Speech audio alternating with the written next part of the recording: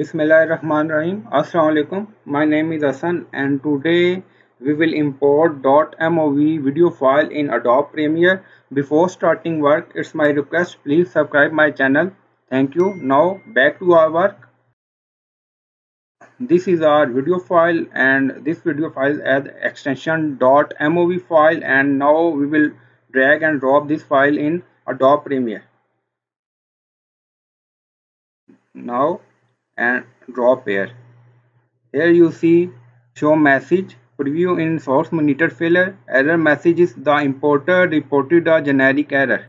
So dot .mov file is not imported in Adobe Premiere. Now we will change uh, the file extension of .mov to .mp4. Now here you see view.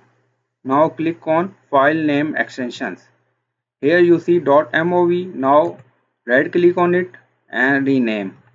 Here you see mp4 and now click and now again click on yes. Drag and drop this video into Adobe Premiere. Now drag and drop here. Now here you see video is imported after changing extension to .mp4 so in this way you can import .mov file. I hope you like this video. If you like this video then please subscribe my channel. Thank you.